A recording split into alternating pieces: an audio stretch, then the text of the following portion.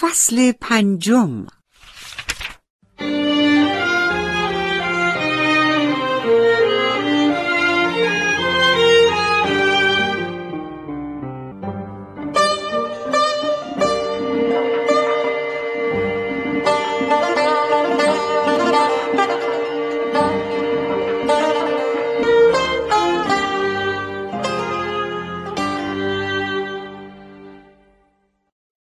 یک صبح روشن بهاری نادر فاتحانه وارد پایتخت تاریخی هند شد. امپراتور اسیر و باقی مانده سربازان او که از نبرد کرنال جان به سلامت برده و در راه هم فرار نکرده بودند در رکاب قشون فاتح وارد دهلی شدند. او تمام شرایط تحمیل شده را پذیرفته و تمام نشانه های قدرت و سلطنتش یعنی توپها، خزائن، فیلها و اسبهایش را تسلیم کرده بود. نادر دویست قبضه توپ را به همراه یک واحد قزلباش به ایران فرستاد تا عظمت پیروزی خود را به رخها بکشد. و مقامات حکومت گورکانی هند با عجله مشغول تهیه قراماتی بودند که او طلب کرده بود. همانطور که ستاره به نادر گفته بود در میان ارتش مغول مردان شجاع کم نبودند. آنها با خشم شاهد بودند که چه بر سر سلاحهایشان آمده و سربازان ایرانی با چه تحقیری با آنان رفتار می کردند. اما کاری از دستشان بر نمی آمد. به آنها دستور داده شده بود که مثل امپراتورشان تسلیم شوند. با تأسف و در سکوت آنها رفتاری که سپاهیان وحشی نادر با آنان داشتند را تحمل می کردند. وحشی هایی که همواره مورد تنفر آنها بودند. با وجود تسلیم شدن امپراتور و سربازانش نادر که سربازی به تمام معنا بود تمام احتیاطهای لازم را به جا آورده بود او می‌دانست که در خیابانهای باریک دهلی سربازان او در موضع ضعف قرار دارند و این را هم می‌دانست که حتی شلیک یک گلوله ممکن است آتش شورش را در تمام کشور شعله بر کند. از این رو بسیار احتیاط می کرد. امپراتور مغول را پیشاپیش به دهلی فرستاد تا شرایط را برای ورود صلح آمیز نادر فراهم کند. او دستور داد که درهای تمام مغازه ها و منازل بسته باشد و مردم در خانه هایشان باقی بمانند. مردم هم که از ایرانی ها وحشت داشتند این دستور را اطاعت کردند.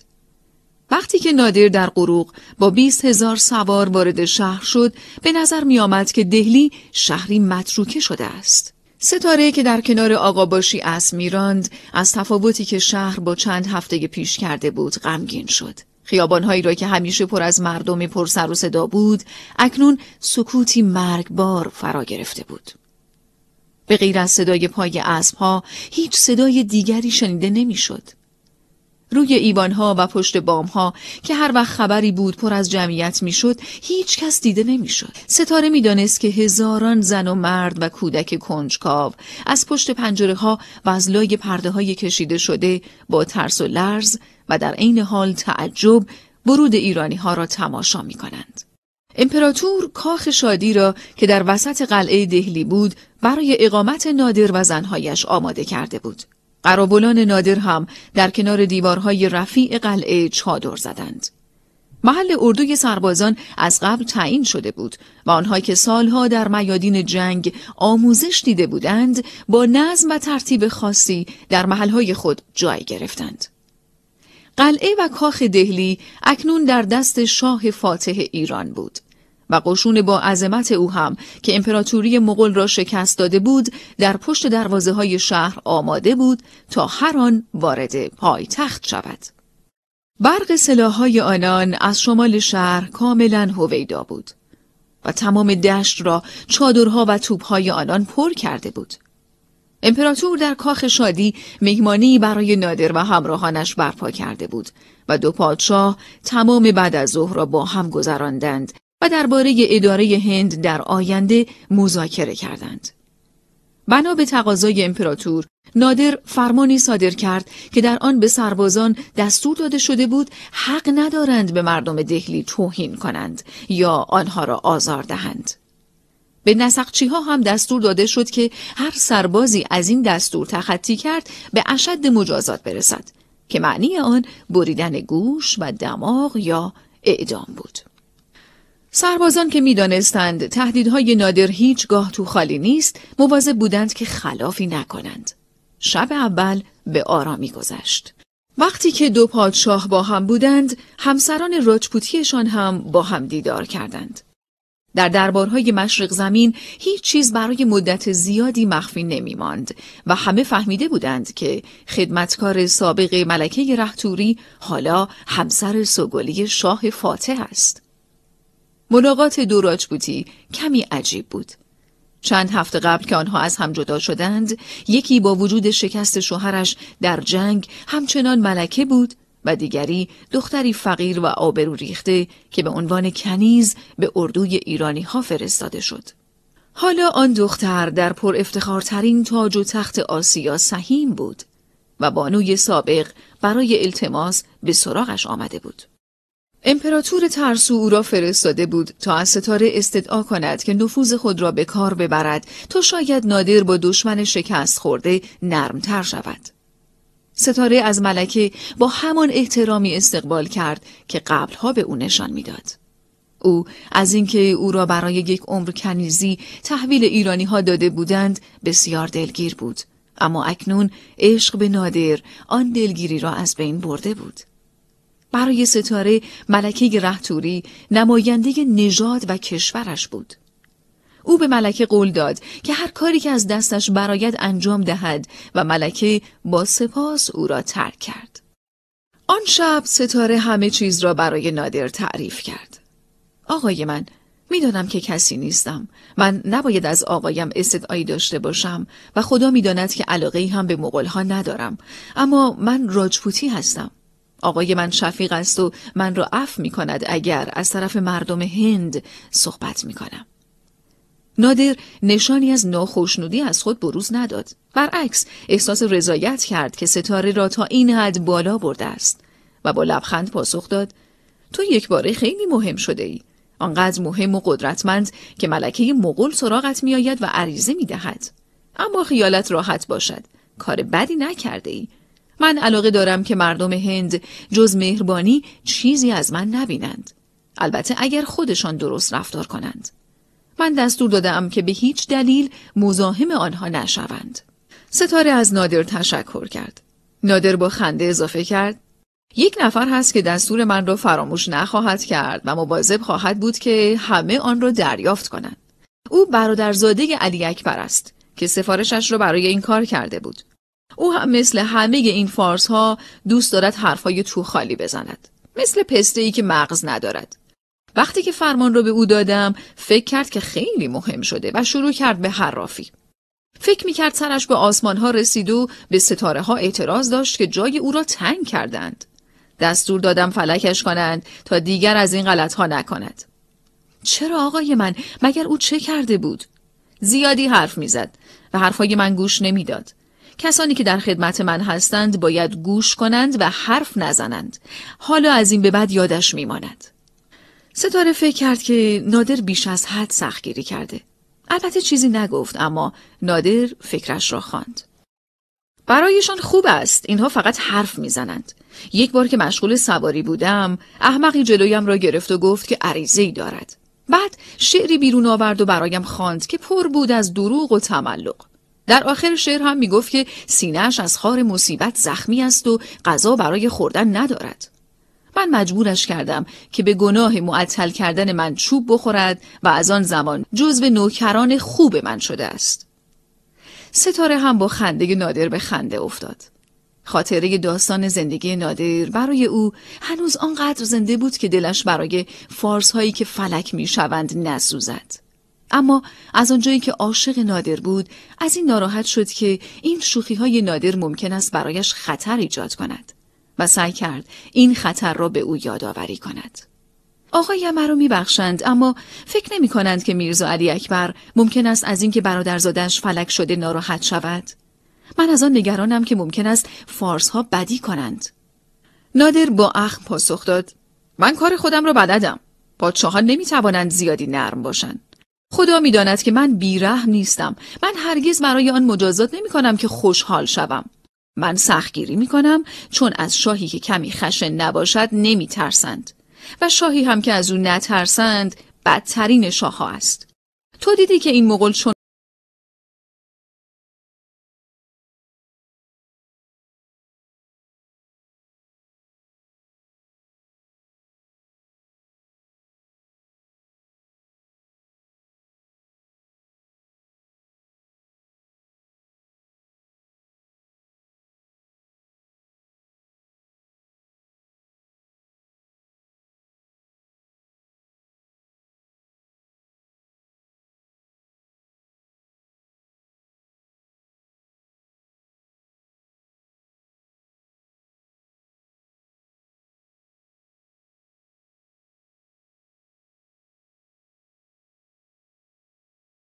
بعد قبل از طلوع آفتاب ستاره از بستر برخاست.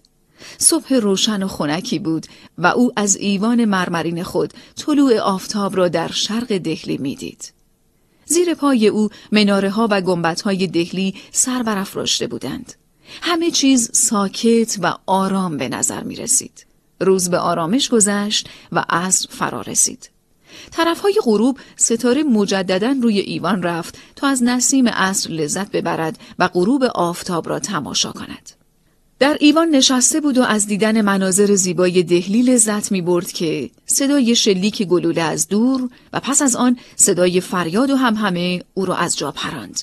قلب ستاره فرو ریخت چون او توده مردم دهلی را می شناخت. از میان دودی که فضای شهر را پر کرده بود چیزی را نمی‌دید. خدمتکاری را به سراغ آقاباشی فرستاد و از او خواست که به دیدنش برود. آقاباشی فورا حاضر شد و ستاره با التماس از او خواست که تحقیق کند چه خبر است. آقاباشی او را دلداری داد. ناراحت نباشید خانم خبری نیست. با این همه ستاره را تنها گذاشت و یک ساعتی باز نگشت. در این یک ساعت هم صدای تیراندازی بیشتر شد و هم نگرانی ستاره. سرانجام آقا باشی با چهره گرفته بازگشت. او گفت فرستاده نادر که برای کسب خبر به شهر رفته بود با جراحت شمشیر بازگشته و گزارش داده که مردم به او حمله کردند و او به سختی توانسته جان خود را نجات دهد. امپراتور هم که به شدت نگران شده فرستادگانی به شهر فرستاده که برایش خبر آوردند شورشی در اطراف مخزن آزوقه شهر آغاز شده است. مردم شهر به هیجان آمدند و جنگی بین جمعیت و دسته های کوچک قزلباش در گرفته است. همانطور که آقاباشی جریان شورش را شهر می‌داد، صدای شلیک تفنگ از داخل قلعه به گوش رسید. بعد یکی دو گلوله توپ شلیک شد.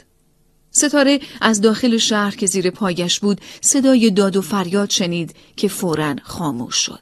شب که فرا رسید صدای شلیک تفنگ ها و همه مردم قطع شد. ستاره امیدوار بود که ناآرامی ها به پایان رسیده باشد اما وقتی که نادر دیرتر از هر شب به سراغ او رفت متوجه شد که اوضاع بر وفق مراد نیست. قبل از اینکه نادر وارد اندرون شود، ستاره صدایش را شنید که آخرین دستورات را می‌داد و قسم می‌خورد که اگر یکی از سربازانش کشته شود، انتقام سختی از هندی ها بگیرد. لحن نادر برای ستاره تازگی داشت. مثل یک حیوان وحشی میقرید. پرده را با خشونت کنار زد. به ستاره نگاه می کرد اما معلوم بود که حواسش جای دیگری است. گونه هایش مثل خون سرخ بود و ستاره در چشمان او برق تهدید و خشم را دید. دیدن ستاره کمی آرامش کرد. دخترک در سکوت کامل در مقابل او ایستاده بود و لازم نبود حرفی بزند تا نادر به ترس و نگرانی او پی ببرد. وحشتی نداشته باش چیز مهمی نیست. جنگ کوچکی با اوباش دهلی در گرفته بود. یکی دو باش گیر افتاده بودند اما توانستند خود را نجات دهند. مردم هم سر و صدایی به پا کرده بودند اما حالا همه جا ساکت است و من نمی‌خواهم در تاریکی شب سربازانم را به داخل کوچه پس کوچه های تنگ بفرستم فردا صبح از قلعه خارج می‌شویم و نظم را برقرار خواهیم کرد آن وقت آدم خواهند شد با اینکه نادر سعی می کرد لحن اطمینان بخشی داشته باشد مشخص بود که همه فکرش مشغول است شراب سفارش داد و جام به دنبال جام از شراب ناب شیراز سر کشید ستاره هم کنار تخت نادر با انگشتان ظریفش پای خشن او را نوازش می کرد. رفته رفته شراب و نوازش ها و سخنان آرامش بخش ستاره نادر را آرام کرد اما قبل از اینکه به خواب رود بارها با خشم دشمن را لعن و نفرین کرد که نشانه خوبی برای روز بعد نبود.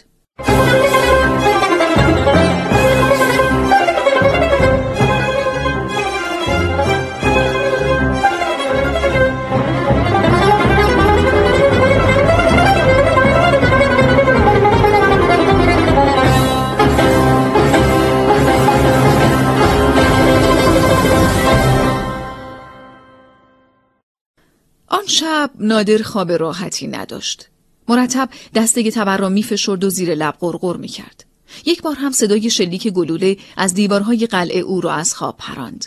با چهرهی برافروخته و چشمانی خشمگین از بستر پرید و چون معلوم شد خبری نبوده دوباره به خواب رفت. ستاره دقیقه نخوابید و تمام شب نگران و مضطرب بود. هنگام طلوع آفتاب ستاره کنار تخت دراز کشیده بود و صورت نادر را تماشا می کرد که او هم بیدار شد. کمخوابی اثر کرده بود و اولین کلماتی که به زبان آورد چند ناسزا بود. نادر قبل از ترک ستاره خود را کنترل کرد و مثل همیشه آرام شد. حتی به نگرانی ستاره خندید و سعی کرد به او اطمینان خاطر بدهد. صورت ستاره را در دستان قدرتمند خود گرفت و به چشمانش خیره شد. چی شده که یک راجپوتی ترسیده؟ من فکر می کردم که رهتوری ها بهترین سربازان هند هستند. لحن نادر به ستاره قوت قلب داد. من نمی ترسم. اوباش خیابانی که کسی نیستند. اما آقای من باید مراقب باشند. کوچه ها باریک است و مردان مسلح ممکن است در منازل مخفی شده باشند. نادر باز هم خندید. خداوند من را محافظت می کند. تقدیر من نیست که در جنگ بلایی به سرم بیاید. ستاره سری تکان داد. آقای من خیلی شجاع هستند. بعد ستاره به یاد هموطنانش افتاد. اما استدعا دارم که آقایم رحم داشته باشند. او باش باید تنبیه شوند اما مردم عادی گناهی ندارند. نادر اخم کرد و با بیحوصلگی گفت من به تو قول دادم. خیالت راحت باشد اما باید شورش را هم سرکوب کنم. ستاره از پنجره اتاقش شاهد خروج سربازان از قلعه بود. در ستونهای جلو پیاده نظام حرکت می کرد تا راه را باز کند. در پشت سر آنان انبوه اسبران در حرکت بودند. در نهایت وقتی که هزاران سوار به خیابانها ریختند، نادر و قرابلان ویژش از قلعه خارج شدند. دیدن نادر که به مقابله با خطر می رود، قلب نگران ستاره را به تپش انداخت. برای مدتی همه جا آرام بود و ستاره دعا می کرد که همه چیز به خوبی پیش برود. اما هنوز اوایل صبح بود که ابتدا صدای شلیک پیاپی گلوله و بعد صدای داد و فریاد فضا را پر کرد. پس از آن فریادها در صدای رکبار گلوله و تیراندازی توپ گم شد و دود شهر را فرا گرفت. داستان آن روزها بارها گفته شده است. نادر وقتی از قلعه خارج شد تصمیم داشت تا جایی که می‌تواند از جنگ و کشتار غیر لازم اجتناب کند. اما جلوتر که رفت با اجساد تکه تکه شده چند سرباز قزلباش روبرو شد که شب قبل کشته شده بودند. در آن شرایط نمی‌شد قاتلان اصلی را پیدا کرد. اما نادر چون خشمگین شده بود دستور داد که ساکنان نواحی مشخصی از شهر تنبیه شوند. زمانی این دستور را صادر کرد که از منزلی تیری به سویش شلیک شد. و یکی از محافظانش را از پای درآورد. همزمان صدای شلیک گلوله از اطراف نشان می‌داد که بعضی واحدهای او هدف حمله قرار گرفتند. اینجا بود که صبر نادر به سر آمد و چون نیروهای کمکی هم به او پیوسته بودند افسار سربازان را رها کرد. سربازان وحشی نادر که منتظر فرصتی بودند تا پای تخت مغلها را غارت کنند با فریاد شادی حمله خود را آغاز کردند. برای چند ساعت دهلی اسیر کین توزی بود که در آن بیگناهان بیش از گناهکاران آسیب دیدند. سواران وحشی ازبک و ترکمان بی محابا می کشتند و می سوزندند و قارت می کردند. وحشت مرگ مردم شهر را دیوانه کرده بود. مردان خود را با چاقو می کشتند یا منازل و اموالشان را به آتش می کشیدند و خود هم در آن می سوختند. زنها سر خود را به دیوارها میکوفتند تا مغزشان متلاشی شود یا خود را از پشت بامها به پایین میانداختند و روی سنگ فرش های کوچه ها تکه تکه می شدند. تاتارها کودکان را در کوچه ها تعقیب می کردند و پس از گیرانداختن آنها با نیزه های بلندشان آنها را می کشتند و قاه قاه می خندیدند.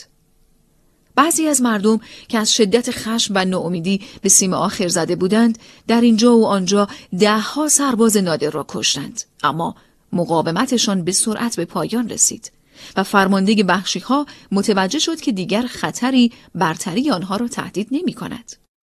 وقتی نادر احساس کرد که اقدامات کافی برای حفظ امنیت انجام شده به ختم کشدار فرمان داد. زمانی که سربازان نادر که از خونریزی و قارت مست شده بودند تحت کنترل قرار گرفتند صدای تیراندازی و فریادهای غضبناک هم رفته رفته فروکش کرد هنگام غروب آفتاب از هر گوشه دهلی دود و آتش به هوا می رفت و هزاران هندی سلاخی شده بودند. اخبار آنچه که در شهر میگذشت با تمام جزئیات هولاکش به اندرون رسید. برای دختر جوان راجپوتی که تمام روز از پنجره شهر را نظاره می کرد، آن روز یکی از سیاه ترین روزهای زندگیش بود. واقعیت این بود که مردم دهلی از همخونان ستاره نبودند و تا یکی دو سال پیش او حتی زبان آنان را درک نمی کرد اما اکثر آنها هندو و از همکیش های او بودند. ستاره با آنان احساس همبستگی داشت.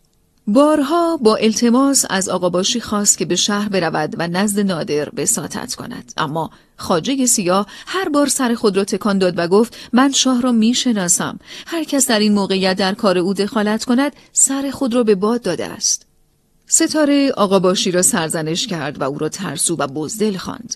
یک بار هم تصمیم گرفت که خودش به سراغ نادر برود و با فرستادن مهر زمرد از نادر که به او قول داده بود پایان کشدار را بخواهد. اما آقا باشی قانعش کرد که تلاش او بیفایده خواهد بود.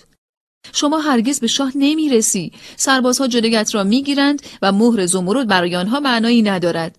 آنها اذیتت خواهند کرد و ممکن است جانت را هم از دست بدهی. آقا باشی معدبانه اما با قاطعیت به ستاره فهماند که اگر بخواهد چنین کاری کند خود آقا باشی جلویش را خواهد گرفت. او مسئول سلامت ستاره بود و می‌دانست که اگر به ستاره اجازه خروج از کاخ را بدهد نادر هرگز او را نخواهد بخشید. اوایل شب همزمان با فروکش کردن سر و صدای کشتار شهر آقاباشی بار دیگر به سراغ ستاره رفت. او با موهای ژولیده و صورت پر از اشک کف اتاقش افتاده بود و زجه می‌زد. وجود او را خشم و عصب فرا گرفته بود. هرچه آقاباشی گفت ستاره پاسخی نداد. آقا باشی از روی نگرانی برای ستاره و برای اینکه او را بر سر پا آورد لحن محکمتری به خود گرفت. خدا شاهد است که برای خانم خیلی ناراحتم. اما هرچه که اتفاق افتاده به دستور شاه بوده و حتما هم لازم بوده. باش سربازان شاه را به قتل میرساندند. اگر امشب شما را در این وضع ببیند چه خواهد گفت؟ او عصبانی است. ممکن است افکار شیطانی به مغزش خطور کند. به خاطر خدا خود را جمع و جور کنید تا خشم شاه متوجه شما نشود. شیون کردن ستاره پایان گرفت و او با عصبانیت به آقا باشی پرخاش کرد. برو من رو به حال خود بگذار. اگر شاه بیاید به او می‌گویم که مرد نیست بلکه بی ایمان و قاتل زن و بچه هاست. برو منو تنها بگذار. آقا باشی آهی کشید و خواست چیزی بگوید اما خود را جمع جور کرد و از اتاق خارج شد. در دالان لحظه ای تعمل کرد و به فکر فرو رفت. شاه نباید او را ببیند. خانم هرچه در فکرش است به او خواهد گفت و برای همیشه از دست خواهد رفت. شاه هرگز او را نخواهد بخشید. خوشبختانه نادران شب به سراغ ستاره نرفت. او موفق شده بود که به هندی ها درس سختی بدهد که در مقابل او نایستند اما در تمام طول عملیات چهره ستاره جلوی چشمان او بود که برای عفو هموطنانش وساطت می کرد.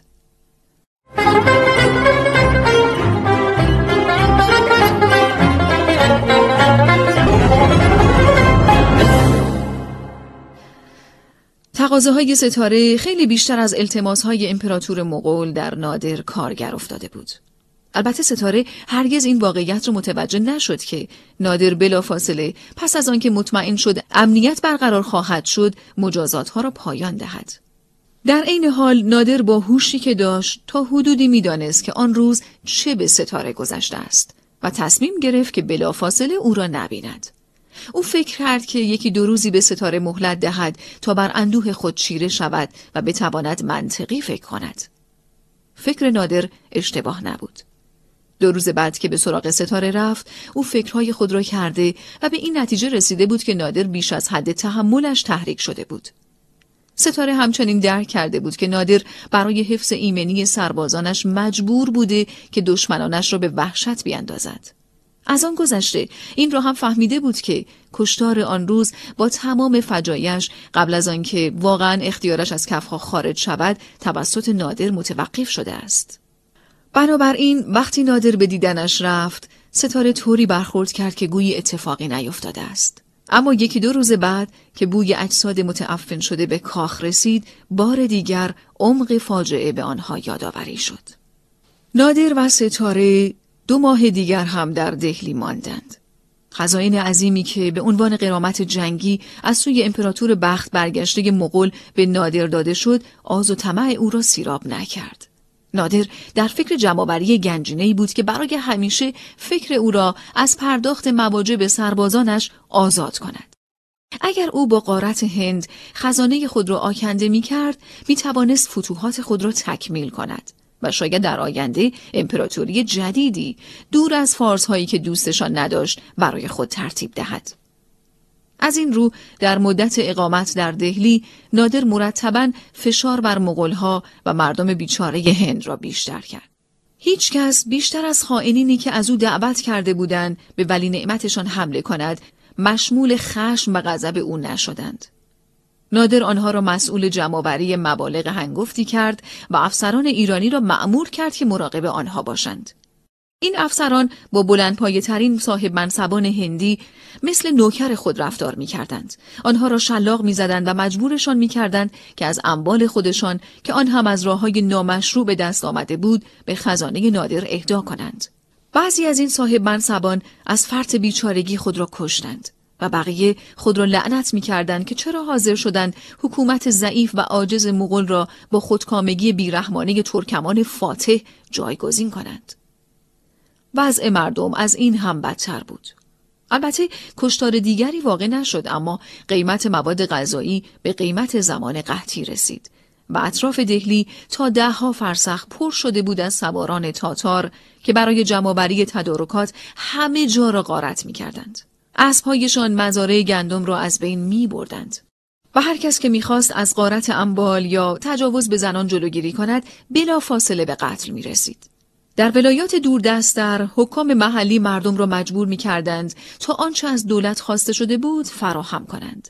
وحشت تمام هند را فرا گرفته بود. برای تفریح هم که شده نادر یکی از شاهدختهای هندی را به عقد نصرالله میرزا پسر خود درآورد و امپراتور مفلس وادار شد که برای جهیزیه عروس خانم پول و جواهر فراهم کند. نادر هم گنجینه ای از جواهرات به عروس هدیه داد که آن هم از خزانه پدر عروس آمده بود. در جشن ازدواج دو شاهزاده مردم وحشت زده دهلی مجبور شدند شادمانی خود را با آتشبازی و چراغانی کوچه ها نشان دهند. در دو ماه اول بهار جمعآوری قرامات ادامه داشت و دریایی از طلا و جواهر به خزانه نادر سرازیر شد.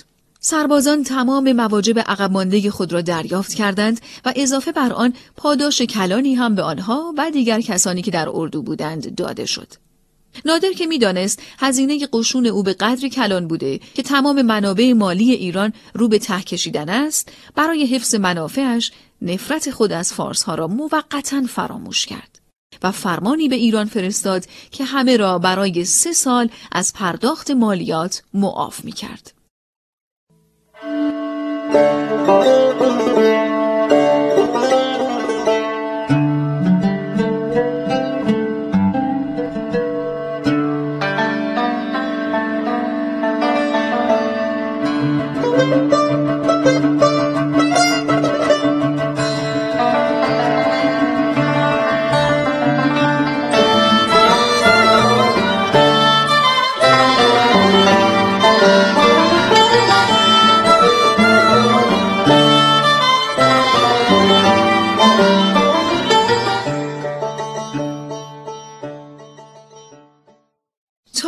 عواست بهار نادر هر کاری که می‌خواست کرده بود. فصل گرما رو به آغاز بود و تا ارتفاعات آسیای میانه راه درازی در پیش بود. شبی به ستاره گفت که حرکت برای بازگشت چند روز بعد آغاز خواهد شد. ستاره از شنیدن خبر ترک دهلی خوشحال شد. دو ماه گذشته دوران بدبختی هموطنان او بود و قلب ستاره از رنج آنان به درد آمده بود. با وجود زندگی پرشکوه جدیدش و با وجود مستی عشق غم مردم هند مثل غم خود ستاره بود. بدتر از آن ستاره با تأسف فضایندهی شاهد تغییری تدریجی در وجود نادر بود. او حرس شدیدی به طلا و علاقه شدیدی به قارت نشان می‌داد که پیش از آن در او ندیده بود. تا آن زمان نادر به ثروت اهمیت نمی‌داد و پول را تنها برای مخارج قشون می‌خواست. اما حالا ستاره می‌دید که وقتی نادر از جواهرات و پولهایی که در هند به دست آورده صحبت می‌کند چشمانش از هرس و ولع برق می‌زند. ستاره امیدوار بود که پس از ترک دهلی نادر در اردو تبدیل به همان نادری شود که در شب اول دیده و عاشقش شده بود. در میانه بهار نادر امپراتور مغول و صاحب منصبان ارشد او را احضار کرد که با آنان ودا کند. پس از طلوع آفتاب آنان در تالار بزرگ کاخ اجتماع کردند و نادر به یکی که آنان خلعت داد. بعد امپراتور برای ودا با نادر وارد تالار شد. دو پادشاه صبحانه را با هم صرف کردند و نادر به عنوان حاکم مطلق الانان هند پرچم سلطنتی هند را به محمد شاه گورکانی باز پس داد. نواده آن همه فرماندهان و امپراتوران جنگجو و فاتح با خضوع و خشوع تاج و تخت خود را از سرباز ترکمان قبول کرد و حتی از او خواست که به عنوان ارباب اصلی مقامات اصلی کشوری را هم منصوب کند. نادر قبول نکرد. و از او خواست که خودش صاحب منصبانش را تعیین کند. اما قول داد کسانی را که اوامر امپراتور را اجرا نکنند به سختی تنبیه کند.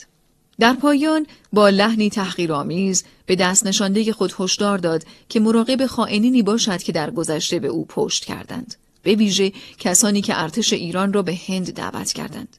با این هشدار امپراتور به کاخ خود در قلعه دهلی بازگشت.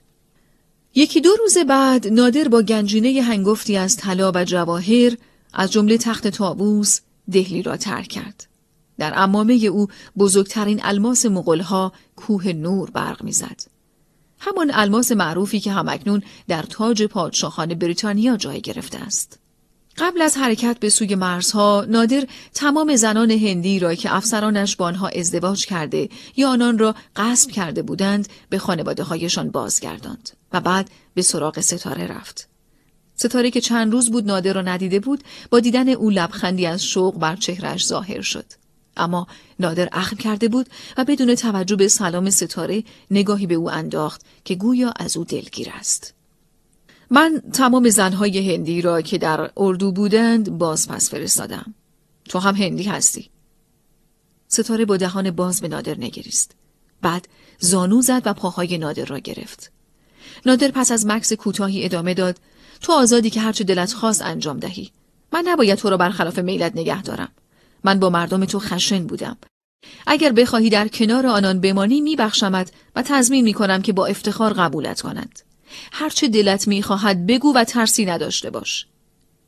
نادر به خوبی می‌دانست که ستاره چه جوابی خواهد داد اما می‌خواست از آزمودن او لذت ببرد و در ضمن سخنش نوعی معذرت خواهی هم بود که می‌دانست ستاره به آن پاسخ مثبت می‌دهد. آقای من من کنیز شما هستم. اختیار مرگ و زندگی من با شماست. اگر مرا پس بفرستی در واقع جانم را گرفته اید. پس کشور و مردمت چه می‌شوند؟ دیگر آنها را نخواهی دید می توانی برای همیشه ترکشان کنی؟ ستاره با حرکت سریع چرخی به خود داد و تبر نادر را که از مچش آویزان بود بوسید. اگر می خواهید مرا بکشید با همین تبر بهتر است. نادر دست خود را روی موهای ستاره گذاشت. هرچه تو بخواهی خانم کوچک تو با من خواهی بود. سپس به چشمان ستاره که او را نگاه می کرد خیره شد. تو مثل زنهای دیگر نیستی من باور می کنم که حاضری جانت را برای من بدهی. ستاره با لبخندی شیرین گفت جان من چه ارزشی دارد؟ زنان راجپوتی به جانشان فکر نمی کند. به این ترتیب وقتی که شاه فاتح پای تخت تسخیر شده ها را ترک کرد، دختر راجپوتی هم همراه او بود. که گرفتار چنان عشقی شده بود که در برابر آن دنیا برایش ارزشی نداشت. مسیر حرکت اردو از طریق پنجاب بود. این منطقه را ارتش نادر پاک کرده بود و او به اتفاق بدنه اصلی ارتش خود راه شمالی تری را انتخاب کرد که به دست آوردن تدارکات در آن آسان تر باشد. مسیر جدید سخت و ناهموار بود و از دره ها و کوههای سخت و صحرای خشک و سوزان میگذشت. ستاره که به همراه غروق حرکت می کرد متوجه بود که هرچه جلوتر می روند بیابان سختتر و بیاب و علفتر می شود. مناطق حاصلخیز اطراف دهلی با شهرک های آباد و محصول فراوان جای خود را به دشتی لمیزره و دره های سنگلاخ داده بود که در آن درخت و سبزی کمتر دیده می‌شد. و روستاهای بدون درخت با خانه های خشت و گلی با بیابانهای اطراف تفاوت چندانی نداشتند. این وضع برای ستاره تازگی نداشت و او را به یاد دشت های شنی محل زندگی خانوادهش در سالهای قبل میانداخت که به وادی مرگ شهرت داشت.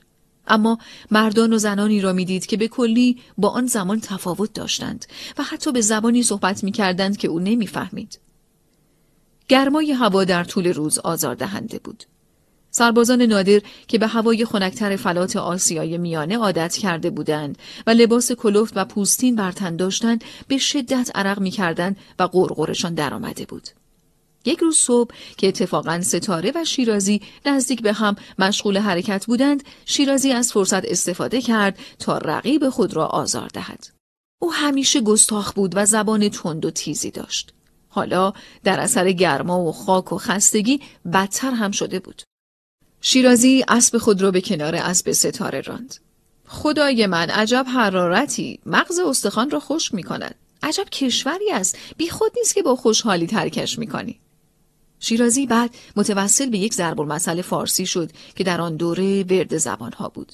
مرگ می‌خواهی برو هندوستان.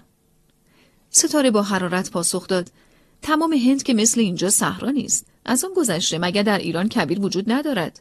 هند واقعی کشوری زیبا با آب و سبزه فراوان که نظیرش را در خواب هم ندیده ای. شیرازی با تمسخر گفت به اندازه کافی دیدم. اگر این کشور انقدر خوب است چرا مردان هند برایش نجنگیدند؟ آنها مثل موش از مقابل قزلباش ها فرار کردند و گفتند این مملکت ارزش ریختن حتی یک قطره خون را هم ندارد. گونه های ستاره از فرط خشم و سرفکندگی سرخ شد. مگر کسی می تواند در مقابل قشون شاه ایستادگی کند؟ سواران او همان افغانها و تاتارهایی هستند که ایرانیها در طول تاریخ در مقابلشان به خاک افتادند. میدانی که چند هزار فارس در حال حاضر در چادرهای سیاه برده فروشان اسیر هستند و احشام آنها را میپایند؟ شیرازی خنده شیطانی کرد. درست را هم خوب یاد گرفته ای اما خواهی دید. ایران هزاران سال دوام آورده و از این پس هم گذرگاه سگها نخواهد شد. آقا باشی که پشت سر آنها بود با اسبش خود را میان دو همسر نادر حائل کرد و شیرازی را خطاب قرار داد. آرام باشید و خانم را به حال خود بگذارید. او در دو ماه گذشته به اندازه کافی قصه خورده است. شیرازی افسار اسبش را کشید و در حالی که چشمانش برق می‌زد رو به آقا باشی کرد و گفت به موقع آمدی جایت خالی بود بعد گویی که با خودش حرف می‌زند ادامه داد روی سیاه نشانه قلب سیاه است. آقا باشی حتی صبر نکرد که شیرازی دور شود و به ستاره گفت خانم شما چه کاری با این زن دارید؟ او زبانی مثل نیش اغرب دارد و از شما هم متنفر است. از سر راهش کنار بروید. ستاره از دخالت آقا باشی شاد شد. متوجه شده بود که حریف زبان شیرازی نمی شود. من از سر راهش کنار می‌روم اگه او بگذارد. خدا شاهد است که من قصد دعوا با کسی ندارم. تقصیر اوست. اما اگر شاه واقعیت را بداند اهمیتی ندارد. این زن ارزشی برای من ندارد. قبله عالم همه چیز را می‌داند. شما هیچ نگرانی نداشته باشید. او می‌داند که چه کسانی به او وفا دارند. حرفهای آقا باشی خیال ستاره را آسوده می کرد. با خود گفت اجازه نخواهم داد که مرا اذیت کند. من باید فقط به فکر شاه باشم. شاید روزی بتوانم خدمتی به او بکنم. او خودش گفت که می‌داند من جانم رو برایش می‌دهم. شاید روزی بیاید که ثابت کنم فکرش درست بوده است. این فرصت زودتر از آنچه که ستاره فکرش را می‌کرد پیش آمد. چند روز بعد راهپیمایی طولانی به پایان رسید و سربازان خسته نادر در کرانه های رود سند به استراحت پرداختند. نادر امیدوار بود که از گذرگاه خیبر که در منطقه تحت کنترل ایل یوسف زایی بود بگذرد و مشغول مذاکره و مصالحه با رئیس ایل برای گذراندن سپاه خود بود. خیمه های او در نزدیکی یکی از شاخه های رودخانه برپا شده بود و نگهبانان او در تمام طول کرانه شرقی رود مستقر شده بودند.